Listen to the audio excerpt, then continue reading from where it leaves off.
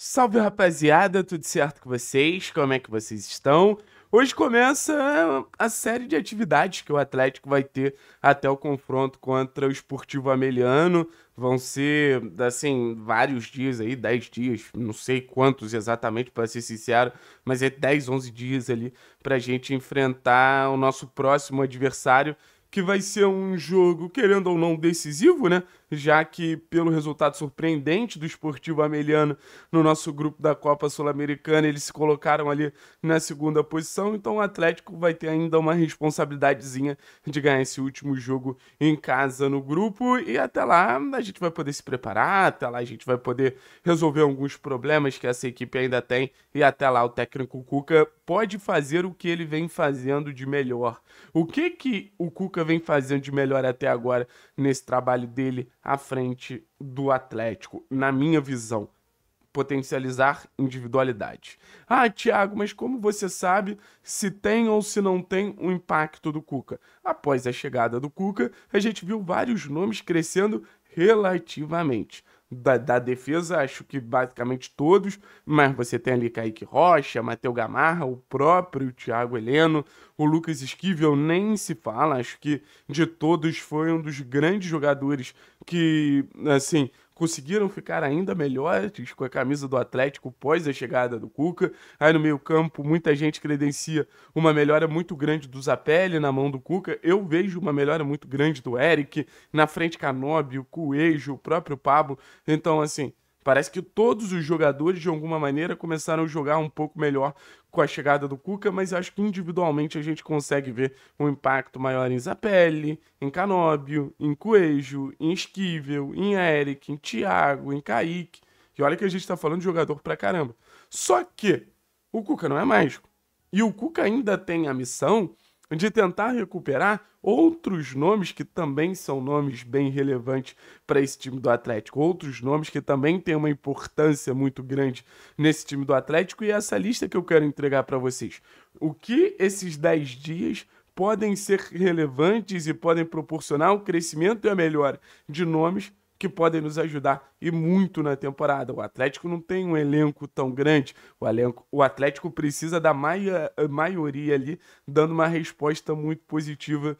Então ainda tem alguns jogadores que eu acho que não estão na sua melhor forma. Como sempre, fiz aquele roteirinho para ir lendo, se vocês não se incomodarem. E o número 5 eu boto o Fernando. A questão que eu botei o Fernando na lista, eu botei o Fernando como o número 5, foi pelo fato de eu achar que nesse momento o Fernando ele precisa de campo. O Fernando ele não precisa de um impacto tão grande do técnico Cuca.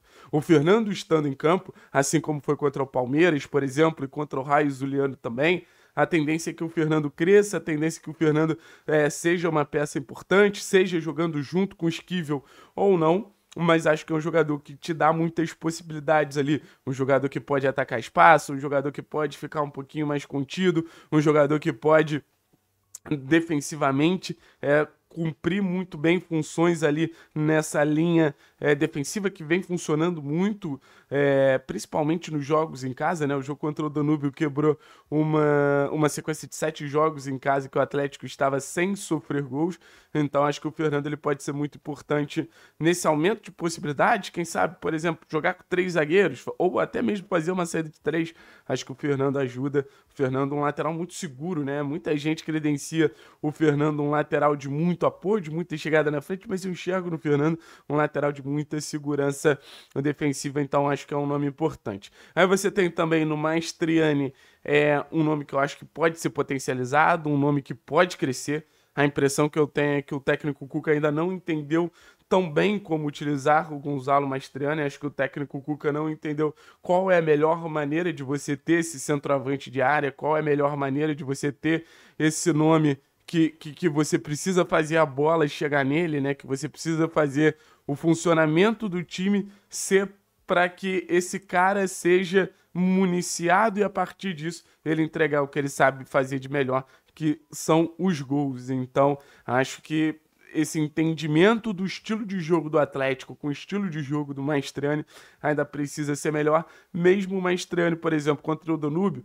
recebeu bolas importantes e acabou não fazendo. Mas no final das contas, acho que é, a gente tem uma peça muito importante ali, cara, que é um atacante é, de, de, de muita capacidade de gol. A gente não pode tratar mal essa peça. A gente tem que saber jogar para que essa peça ela brilhe. O, o Maestrante sempre foi essa peça que precisou do funcionamento coletivo para que ele pudesse ser o atacante letal que a gente sabe que ele pode vir a ser. Então, no fim das contas, quando a gente tem um Maestro não rendendo tanto, óbvio que tem responsabilidade dele, mas também tem responsabilidade do coletivo. Esse top 3 aqui eu tenho certeza que vai ser importantíssimo se o Atlético quiser brigar por títulos. Vou pedir para você deixar o like, se inscrever no canal e lembrar vocês que a KTO é a patrocinadora master do canal 3 Pontos. Então sempre fica o convite. Quem quiser brincar, quem quiser apostar na KTO é uma belíssima opção porque te oferece os melhores mercados, as melhores odds, as melhores possibilidades para você estar tá sempre se divertindo, vendo futebol, vendo basquete, vendo um tênis, porque todos os esportes você encontra na KTO e utilizando o código 3 pontos, assim como é o nome do canal, 3 numeral pontos, tudo junto, você ganha 20% de bônus no seu primeiro depósito, tá bom, pessoal? Agora vamos lá. Top 3, Christian. A gente tem falado muito sobre o Christian, ser mais sucinto, porque a gente vem produzindo bastante conteúdo sobre ele mas no final das contas o Christian ainda é um jogador que eu acho que a gente tem que dar um jeito de recuperar, seja como segundo volante, seja jogando mais à frente. Acho que o posicionamento dele é pelo corredor esquerdo, não pelo corredor direito, mas mais do que isso, um Christian que precisa de confiança para ser essa melhor versão, um Christian que precisa de confiança para ser esse jogador que funciona muito para a equipe, né? E, e, e, quando você tem um Christian muito bem, eu acho que a equipe acaba sendo potencializada, a equipe coletivamente acaba funcionando bem melhor. Aí você tem o número 2, outro jogador que eu acho que o, o, o, técnico Cuca, conforme o tempo for passando e entendendo a real relevância desse atleta ou o impacto que esse atleta pode gerar, também não vai ter muito jeito de não ser um jogador titular, que é o Nicão, né? O Nicão jogou de titular contra o Palmeiras, foi muito bem, já tinha feito gol contra o Juventude, entrou bem contra o Vasco, mas a impressão que dá é que, pelo tamanho que o Nicão pode ter no elenco do Atlético, isso, confesso para vocês que me surpreende, porque eu não imaginava um retorno tão positivo do Nicão, mas pelo tamanho que o, o Nicão pode ter, de, de, um verdadeiro protagonista, como hoje, por exemplo, a gente tem no Canóbio, como, por exemplo, a gente tem o Zapelli sendo muito importante em momentos relevantes ali da equipe, e acho que o Nicão pode ter uma importância tão grande, ou até maior, que desses nomes, para jogar ali atrás do centroavante, eu sinto que o Cuca ainda precisa de um tempinho ali com o Nicão. O Cuca ainda precisa de, de, de, mais oportunidades de utilizar o Nicão, mais oportunidades de entender o quanto o Nicão pode impactar, que eu volto a dizer. Recuperar o Nicão de 2021 não é tão difícil quanto parece. Eu, de número um, um jogador que eu, cara, entendo que precisa ser potencializado, torço muito para que seja potencializado, e eu não vou nesse discurso, ah, não tá jogando bem, ou ah, tá falhando muito, não acho que seja por aí. Mas acho que a gente precisa falar e falar bastante sobre o Léo Godoy, né? Léo Godoy, que para mim é, foi a grande contratação do Atlético no mercado de transferências, a impressão que eu tenho é que o Atlético ainda não entendeu o impacto positivo que o Léo Godoy pode ter. Ou pelo menos o técnico Cuca precisa dar um pouquinho mais de liberdade para que o Léo Godoy apareça na frente, como apareceu bem contra o Vasco, como apareceu bem contra o Cuiabá, como apareceu bem em alguns jogos pontuais contra o Esportivo Ameliano. O Léo Godoy ele tem pílulas, ele tem momentos do jogador desequilibrante que ele pode ser. Isso a gente tá falando de um lateral direito, mas acho que é um lateral direito com potencial de ser um ponta. Ainda mais, pô, nesse lado direito, Nicão e Godoy funcionando junto, Nicão, Nicão vindo mais para dentro, deixando o corredor pro Léo Godoy. Acho que pode funcionar muito, muito, muito bem mesmo. Então é, é, é, mais um nome que eu vejo potencial de crescimento. Imagina, Fernando Maestrano e Cristian Nicão e Léo Godoy jogando o máximo que eles podem. Eu volto a dizer, eu entendo que o elenco do Atlético não é o elenco mais recheado do mundo de opções. Mas se você tem Bento e Léo Link, se você tem Léo Godoy, se você tem Kaique, Thiago e Gamarra, se você tem Fernando Esquivel, se você tem Eric Fernandinho, é, Filipinho, é, o próprio Christian, se você tem Zapelli, se você tem Canóbio, Coelho, Nicão, Pablo, Maestrian, pô, cara, é bastante opção, bastante possibilidade de você ter um, um, um bom time ali.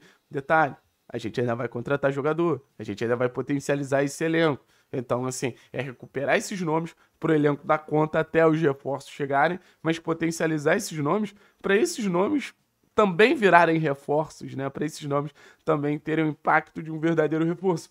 Por quê? ah, o que o Maestrano entrega hoje e o que o Maestrano pode entregar é um gap muito grande. O que o Fernando entrega hoje e o que o Fernando pode entregar. Então a gente só vai entender quanto o Atlético pode ganhar com esses jogadores com o tempo, é óbvio, mas eu acho que existe uma diferença muito grande, que o Atlético pode crescer muito com essa diferença do que os jogadores entregam hoje, do que eles podem entregar, e esse tempo de paralisação, para mim, acaba sendo fundamental para a gente ter um Atlético ainda melhor também a partir desses jogadores e também a partir dos jogadores que vivem um grande momento que a gente precisa que mantenham esse grande momento. Valeu, pessoal.